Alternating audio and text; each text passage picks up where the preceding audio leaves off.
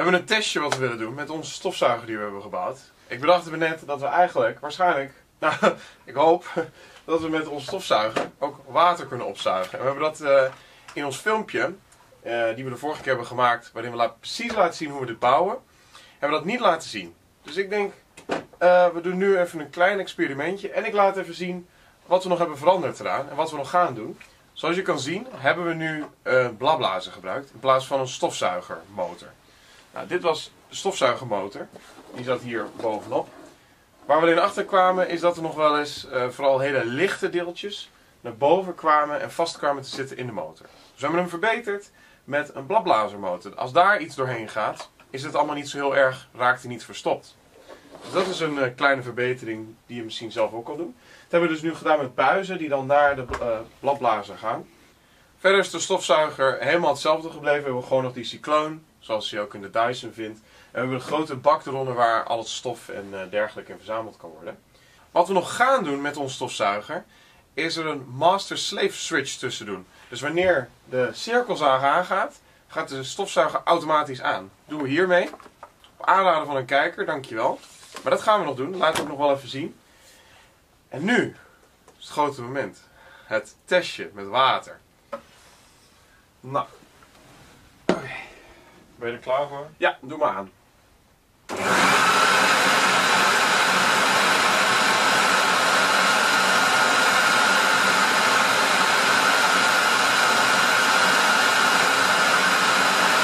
Eh, Ja, er komt wel water uit, maar ik denk dat hij niet genoeg zuigt. ik, voel, ik voel dat hij hier blijft zitten. Ja, er kwam, er kwam een klein beetje uit. Ja, hij, hij is ook wel leger, maar doe maar aan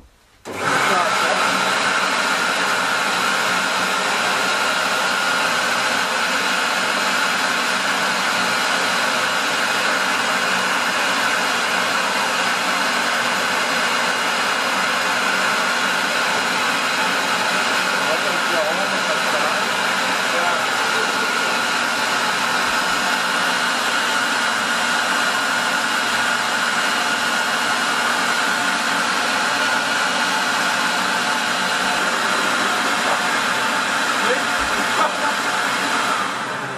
Oké.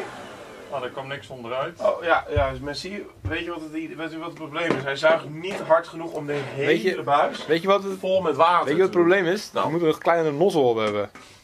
Ja, Een Kleinere kleinere nozzle. nozzle en minder hoogteverschil. Want met een waterstofzuiger zit je natuurlijk ook niet twee meter onder het oppervlak. inderdaad. Nou ja, maar, ehm maar ja, succes. nou heb ik een mooie taak voor jou. Wat dan? Nee. Ja, ja, het was jouw idee. Oh, ja, maar dat water kan er toch in blijven, joh? Nee, Waarom niet? daarom niet. Daarom niet, ja, omdat je gewoon wil dat ik die troep naar buiten gooi. Ja. Nou, het ding kan eraf, hè. Nou ja. Nou, Oké, het werkt wel. het werkt. Maar eh, wat doen we nu? Ja, jij mag het weggooien. Waarheen? Ja, weet ik niet. Ja, Dat- dat- ik ook niet. Wil je zelf ook een cycloonstofzuiger? Kijk dan het filmpje die we al eerder hebben gemaakt in de beschrijving. En het is dus zeker mogelijk om ook water in op te zuigen of kots of iets anders met eh, eh, vocht.